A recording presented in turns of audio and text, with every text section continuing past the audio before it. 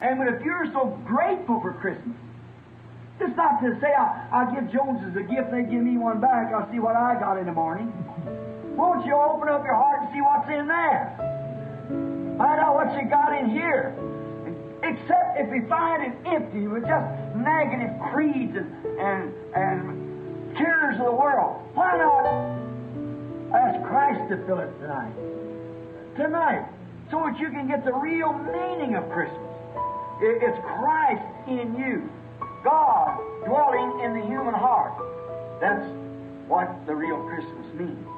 But you see, today we become so negative. It's the devil getting us to that. It's painted candy sticks and a, and a reindeer and, and a whiskered man that flies through the air like an airplane and visits the whole world and every home with a little bundle of toys on his back and visits every child. And, and it's, it's just a lie. It's just right out of lie. Did that so he could twist the minds of the people.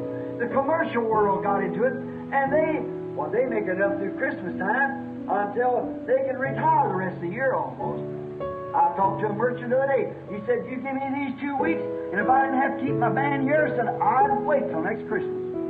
I could go fishing or whatever I want to do till next Christmas. He said, but I keep the boys going. He just keep them here just enough, keep my business open, and it keeps, it keeps my hands paid off and things. Uh, I don't think nothing till Christmas time comes along. You see, it's become a great commercial thing when it ought to be a worship. Worship. Now, God has so anointed Jesus with the fullness of Himself to He was God's gift to the world.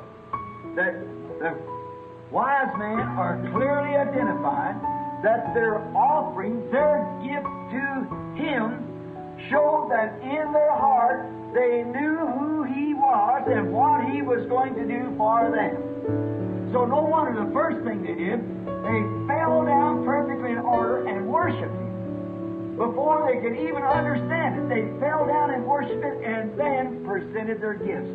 That's the way to have real Christmas. Worship Him, then present your gift. Presenting your body as a living sacrifice, holy and acceptable to God.